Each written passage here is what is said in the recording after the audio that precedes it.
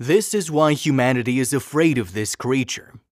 Animals are among the most powerful triggers of human fear. It is what makes them such great antagonists in the cinematic universe. Think Bruce in Jaws, the Graboid in Tremors, and of course Aragog from the Harry Potter films. This is not that shocking. Throughout our history, animals of all shapes and sizes have posed some kind of evolutionary threat, whether that be as vectors of disease or as vicious predators. It makes sense from a survivalist point of view. After all, that instinctive fear kick could be the difference between life and death.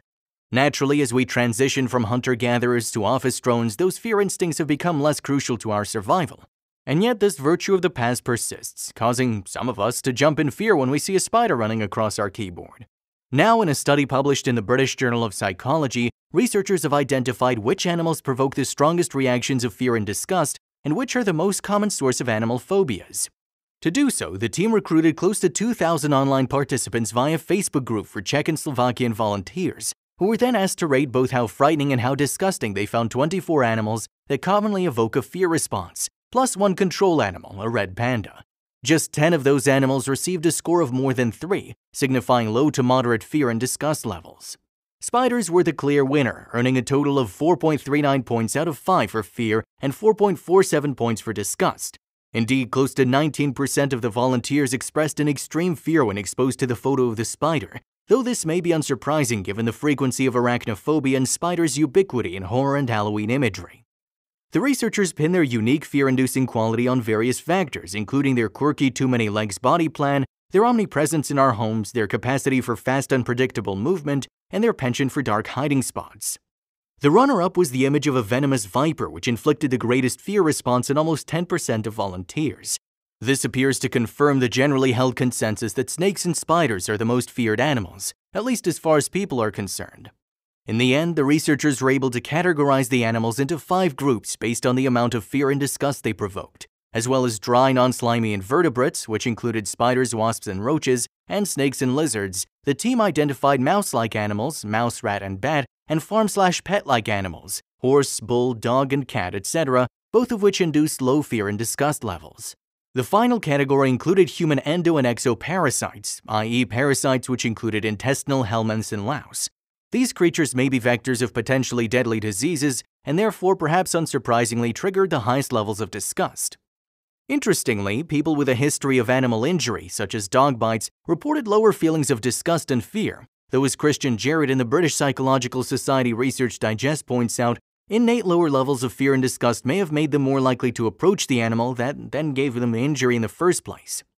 The biggest factor for self-reported fear and disgust appeared to be gender, with women more likely than men to express both, a common pattern in all anxiety-related studies, the researchers point out.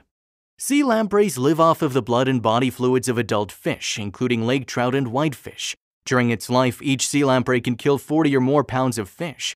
Sea lampreys are one of the most costly and destructive Great Lakes invaders, said Wagner, whose results were published in the July issue of the Canadian Journal of Fisheries and Aquatic Sciences.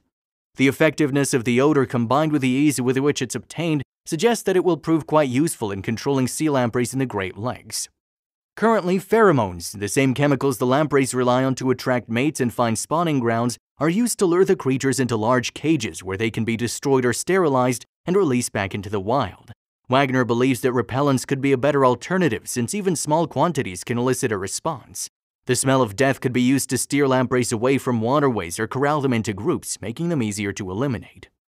By blocking certain streams with these chemical dams, sea lampreys can be steered away from environmentally sensitive areas and into waterways where pesticides could be used more effectively to eliminate a larger, more concentrated population of sea lampreys. Now we're getting through to more people. We have an exhibit at the Oregon Zoo. The general person comes up and says, Oh, are you trying to get rid of them? Are they going to attach to our legs? But then we tell them the facts and they change their minds. In the river, Pacific lampreys face swarms of non-native predators like smallmouth bass, striped bass, and walleyes, as well as an unnatural superabundance of native predators created by the impoundments and by the lampreys and other sea-run fish being massed against the dams. These predators include sturgeon, sea lions, seals, gulls, terns, cormorants, and northern pike minnows. The Pacific States Marine Fisheries Commission even pays a bounty on pike minnows. Predators, habitat destruction, global warming, and past persecution of lampreys, including by managers using the fish poison rotenone, have reduced Pacific lampreys to the point that the only place the tribes can now legally catch them is Willamette Falls on the Willamette River. It is important to add that self-reporting and the stillness of the photographs, movement in video and real life have been proven to provoke greater fear if not disgust, may have influenced the results. Still, if you're looking to give someone a cheap scare, we would suggest you go out and buy a rubber spider.